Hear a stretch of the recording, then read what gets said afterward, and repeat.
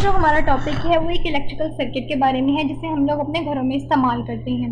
इसका नाम है कि three phase AC supply three phase AC supply एक ऐसा सोर्स है, जिससे इलेक्ट्रिकल एनर्जी जो है प्रोड्यूस होती है। इसे हम लोग जनरेटर के अंदर इस्तेमाल करते हैं।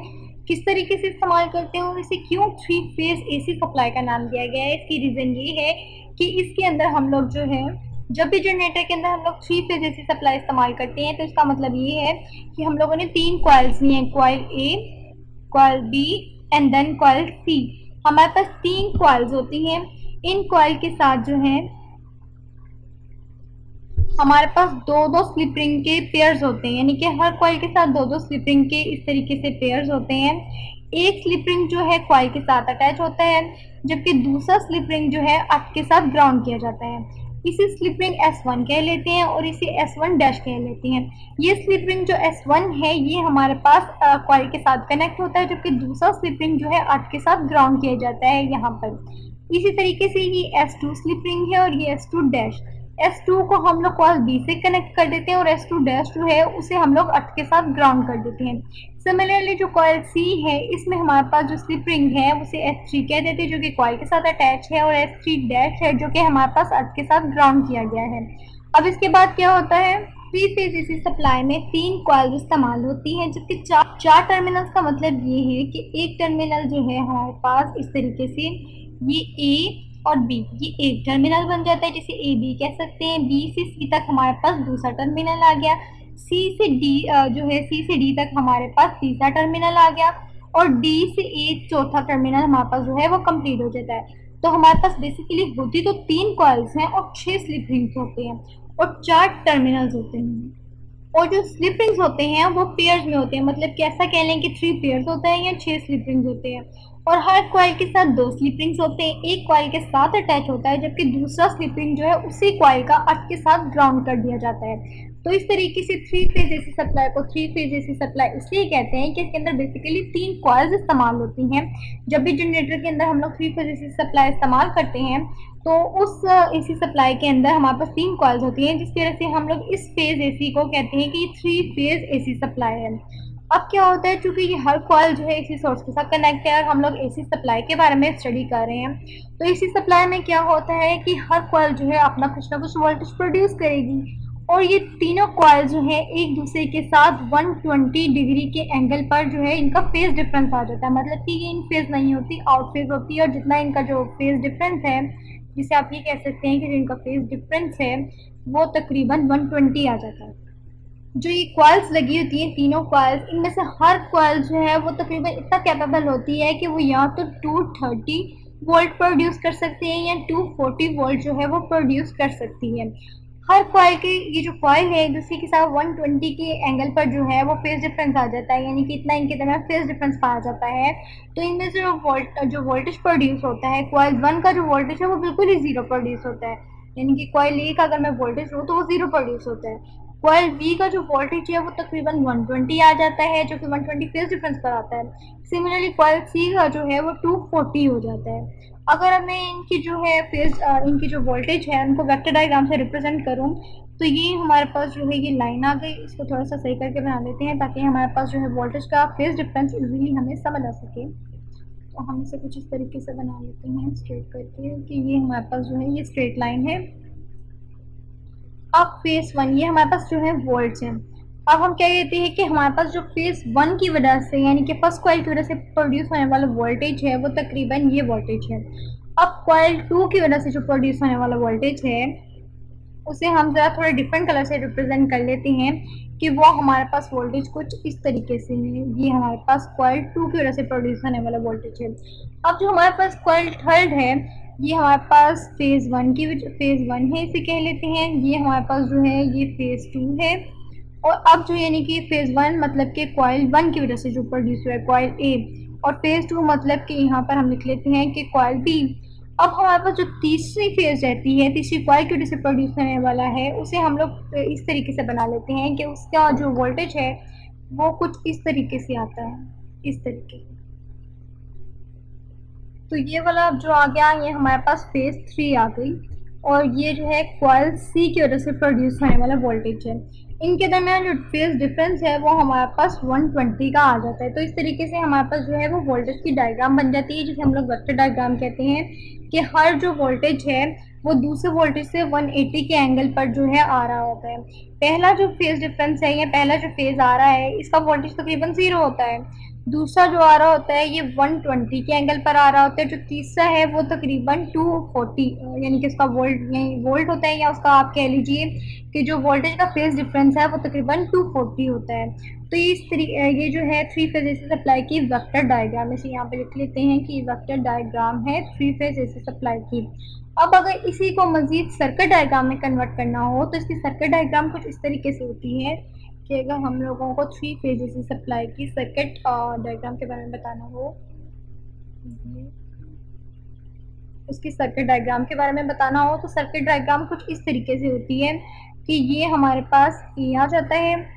इसके बाद अगर हम लोग डिफरेंट मार्कर यूज़ करें तो ए के साथ थोड़ा सा आगे क्वाइल लगी होती है और इसी यहाँ पे डी यानी कि डी आप कह लीजिए कि यहाँ पे एक पॉइंट डी होता है, जैसे कि हमने बात की ना कि हमारे पास चार टर्मिनल होते हैं। और हमारे पास जो चौथा टर्मिनल डी है, वो जाके ए से कनेक्ट होता था। जैसे कि मैं आपको पीछे दिखाऊँ कि अभी हम लोगों ने बात की थी स्टार्टिंग के अंदर कि डी को मैंने एंड पे ए से कनेक्ट किया था। सिमिलरली जब सर्किट डायग्राम बनानी होती है तो डी जो है, वो ए के साथ भी कनेक्ट था और आपने देखा था कि डी जो है, वो सी के साथ भी कनेक्ट था। इस तरीके से सी यहाँ पर आ जाता है और उसके बाद हमारे पास क्या होता है कि ये जो डी है, इससे एक और वायर इस तरीके से यहाँ पर आ रही होती है, जो कि हमारे पास डी से भी कनेक्ट हो जाती है। तो यहाँ पर हमारे पास बी आ जाता है। ये हमारे पास बी है, ये हमारे पास डी सी और ये हमारे पास ए है। अब ये यहाँ पर जाकर जो है कनेक्ट हो जाते हैं। ये तीनों जब आपस में जुड़ जाते हैं तो उसके बाद जी यहाँ पर जाके सर्किट को बंद भी तो करना होता है ना क्लोज करना होता है। इसके बाद यहाँ से आके हम लोगों ने ये सर्किट को डिफरेंट जो है क्लोज करना शुरू कर दिया इस तरीके से। और जो बी है, यहाँ पर आकर हमारे पास जो है सर्किट कंप्लीट हो जाता है। अब हमें यहाँ पर मालूम है अगर एक मिनट पिछली वाली डायग्राम पे गौर करें जो हमारी स्टार्टिंग थी तो ये जो हमारा ए है ए बी से कनेक्ट है उसके बाद बी सी से कनेक्ट है सी डी से कनेक्ट है देन डी जो है वो ए से कनेक्ट है। तो हर वायर का आपस में एक दूसरे के साथ इंटरलिंक है। जैसे कि हम, हमने ए जो है, उसको हम लोगों ने डी के साथ कनेक्ट कर दिया। यहाँ पे डी का जो है एक टर्मिनल है, जिसे हम लोगों ने डी के साथ कनेक्ट कर दिया। अब जो सी वायर है जो कॉल थी, उसे हम लोगों ने डी सर्किट से कनेक्ट कर दिया। अब यहाँ पर और यहाँ पर जो है, हमारे पास जो वोल्टेज होगा, इस और इस कॉयल के दरमियान। देखा जाए तो ये कॉयल यहाँ से आ रही है ना, ये हमारे पास ए से आ रही है। तो ए से सी तक, ये सी का पॉइंट है और ये ए का पॉइंट है। तो इस पूरी की पूरी कॉयल के अंदर जो वोल्टेज होगा, उसे मुझे थोड़ा सा इस तरह बताना चाहिए यहाँ पर वोल्टेज की स्पेस ये जो वोल्टेज है, ये ए सी की वजह से वोल्टेज होगा। इस वोल्टेज की अभी जगह आप खाली छोड़ दें, क्योंकि इसमें थोड़ी सी कंफ्यूजन है मैं आपको बाद में बताती हूँ कि वोल्टेज कितना आएगा। अब उसके बाद क्या होता है कि यहाँ से थोड़ा सा डायग्राम को थोड़ा सा मुझे सीधा करना पड़ेगा। पहले सिर्फ़ मैं कॉइल्स के वोल्टेज की बात कर देती हूँ। अब ये देखा जाए तो ये हमारा डी डी के साथ कनेक्ट है। हमारा बी जो है, वो भी तो किसी ना किसी ए के साथ कनेक्ट ही था ना, जैसे कि अभी मैंने आपको डायग्राम बताई। तो यहाँ पर जो वोल्टेज है ए और बी इस वोल्टेज की भी आप जगह स्पेस अभी रहने दी, इसको भी अभी बाद में डिस्कस करते हैं। तो ये जो है ए बी के साथ कनेक्ट है डी सी के साथ कनेक्ट है डी बी के साथ भी कनेक्ट है और बी जो है वो ए के साथ कनेक्ट है। बेसिकली डी को हम लोगों ने डी वाला जो टर्मिनल है, उसे हम लोगों ने तीनों वायर के साथ ए बी और सी तीनों के साथ कनेक्ट कर दिया है। अब हमारे पास क्या होता है, यहाँ पर जो वोल्टेज है वो ए बी की वजह से प्रोड्यूस होने वाला वोल्टेज है। यहाँ पर जो वोल्टेज है वो ए सी की वजह से प्रोड्यूस होने वाला वोल्टेज है। सिमिलरली यहाँ पर अगर मैं डिफरेंट मार्कर से लाइन ड्रॉ करूँ तो ये हमारे पास सी का टर्मिनल था। सी से डी तक भी तो कोई ना कोई वायर है ना, ये वायर यहाँ तक भी कनेक्ट है। तो सी से लेके जो बी तक का वोल्टेज है, उस वोल्टेज को हमें वी सी बी कहना चाहिए, यानी कि ये जो वोल्टेज है, ये वोल्टेज हमारे पास तकरीबन आ जाता है। Voltage is equals to B C जिसे अभी हम लोगों ने रहने दिया। यानी कि कॉयल्स का जो इंटरनल वोल्टेज है, दो coils coils A B coil B C और सी बी सी और जो है हमारे पास ए सी इनके वोल्टेज को अभी मैंने स्पेस रहने दिया। इनकी वजह ये है कि जो कॉल्स के दरमियान वोल्टेज होता है, वो वोल्टेज हमेशा होता है 400 वोल्ट यानी कि फिक्स होगा, ये 400 वोल्ट होगा। कॉइल ए और बी के दरमियान हमेशा जो वोल्टेज का डिफरेंस आएगा या जो वोल्टेज प्रोड्यूस होता है वो 400 वोल्ट होता है। सिमिलरली क्वाइल जो है हमारे पास सी और बी ये सी का टर्मिनल सी का टर्मिनल सीधा जाकर बी के टर्मिनल से कनेक्ट हो जाता है। इसमें भी आप डी को डी को मत कंसीडर करें कि ये डी यहाँ पर है। बस आप डी को देखें। डी को छोड़ दें। डी को हम लोग बाद में स्टडी करते हैं। ये पूरी की पूरी वायर यहाँ पे जब डी बी पर आकर ख़त्म होती है तो जो वोल्टेज होता है वो यहाँ पर फोर हंड्रेड वोल्ट होता है। तो मतलब ये हुआ कि क्वाइल्स के दरमियान जो वोल्टेज का डिफरेंस है, वो हमारे पास 400 वोल्ट हो जाता है। अब रह गई बात डी डी को हम लोग यहाँ पे क्यों लाते हैं? हमने कहा था कि जो हमारा डी है, ये हमारा चौथा टर्मिनल है, जो हमारी हर क्वाइल के साथ इंटरलिंक होता है। जब क्वाइल ए को डी के साथ लिंक करते हैं तो इनके दरमियान जो वोल्टेज आता है, जिसे वोल्टेज ए डी कहना चाहिए तकरीबन 230 वोल्ट प्रोड्यूस करता है।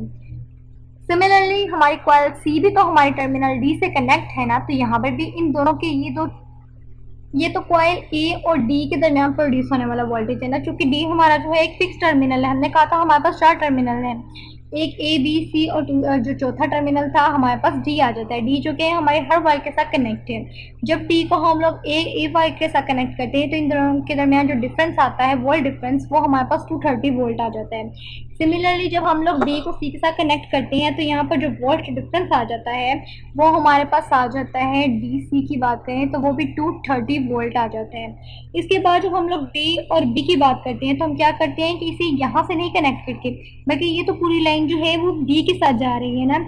इसे अब हम लोग क्या करते हैं कि हम डी से एक लाइन ड्रॉ करते हैं। इस इस लाइन को हम यहाँ तक ले आते हैं और इस लाइन को यहाँ से रेज कर देते हैं, इस तरीके से। तो अब हमारे पास क्या होता है कि जो डी टर्मिनल है, उससे कनेक्ट होने वाली वायर यहाँ पर आकर ख़त्म होती है। यहाँ पर, जहाँ पर हमारे पास ए की वायर ख़त्म होती है, इस तरीके से, ऐसे। तो ये हमारे पास यहाँ पर जो वोल्टेज प्रोड्यूस होता है, देखा जाए तो इस टर्मिनल डी और इस टर्मिनल ए यहाँ पर टर्मिनल ए की वजह से वोल्टेज आ रहा है ना तो ये वोल्टेज ए डी हो जाता है, जो कि टू थर्टी वोल्ट आता है। और इसी तरीके से जब हम लोग बात करते हैं वोल्टेज बी डी की तो आपको मालूम है कि ये जो है हमारे पास डी आ रहा है और यहाँ पर हमारे पास टर्मिनल बी है। तो यहाँ पर जो वोल्टेज बी डी की वजह से प्रोड्यूस होता है, वो भी टू थर्टी वोल्ट होगा।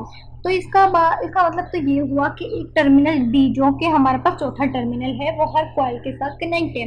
तो उस टर्मिनल और उस क्वाइल के अंदर जो वोल्टेज का डिफरेंस होगा, यानी कि ए और डी के दरमियान ए और डी और सी के दरमियान डी और बी के दरमियान और डी और ए के दरमियान, यानी कि इस टर्मिनल से हर टर्मिनल के साथ जो कनेक्शन है, इस टर्मिनल डी का जो है, हर क्वाइल के साथ कनेक्शन है। तो इस टर्मिनल से, इस टर्मिनल तक का जो वोल्ट डिफरेंस है, वो 230 है। इसी तरीके से इस टर्मिनल का जो डी के साथ डिफरेंस है, वो हमारे पास 230 है। इसी तरह सी के साथ जो डी का डिफरेंस है, वो 230 है। जबकि इन कॉल्स का आपस में जो डिफरेंस है वोल्ट डिफरेंस वो हमेशा 400 वोल्ट होता है। और इसी सप्लाई का हमारे पास ये तो सर्किट डायग्राम थी। अब इसका, इसको पढ़ने का मकसद कि हम लोग एसी सप्लाई की पढ़ रहे हैं। हम लोग एसी सप्लाई इसलिए पढ़ रहे हैं कि थ्री फ़ेज़ सप्लाई के बहुत ज़्यादा एडवांटेजेस होते हैं। सबसे बड़ा एडवांटेज ये होता है कि आपको मालूम है कि आप अपने घरों में बहुत से इलेक्ट्रिकल अप्लाइंसेज यूज़ करते हैं। आप मोटर है condition fan light refrigerator at a time use कर रहे होती हैं। तो एट अ टाइम यूज़ करने की वजह से वोल्टेज का बहुत ज़्यादा बर्डन एक ही वाइल पर अगर पड़े तो शॉर्ट सर्किट हो सकता है, बहुत सा नुकसान हो सकता है डेंजर हो सकता है, आपका सर्किट जो है वो जल सकता है। तो हम क्या करते हैं कि थ्री फ़ेज़ ऐसी सप्लाई इस्तेमाल करते हैं।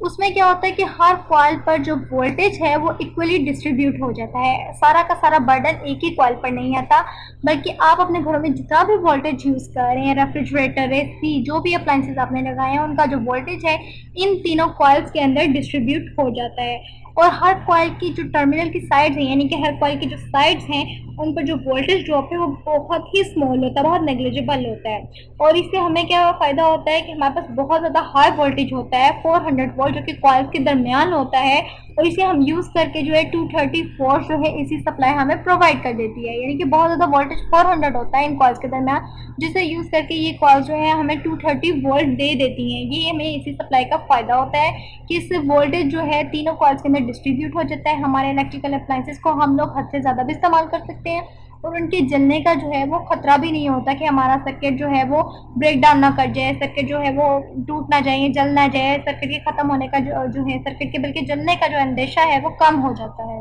तो ये थ्री फ़ेज़ एसी सप्लाई का था कि हम लोग इसे क्यों इस्तेमाल करते हैं और उसके बारे में हम लोगों ने की वेक्टर डायग्राम और सर्कल डायग्राम के बारे में और उसकी जो फ़ेज़ डिफरेंस है, उसके बारे में पढ़ा कि किस तरीके से ये तीनों कॉइल्स के वोल्टेज एक दूसरे से 120 के एंगल पर होते हैं। और इसे हम लोग क्यों घरों में इस्तेमाल करते हैं? क्योंकि इससे वोल्टेज जो है, हर कॉइल पर इक्वली डिस्ट्रीब्यूट हो जाता है, जिसका हमें बहुत ज़्यादा एडवांटेज होता है।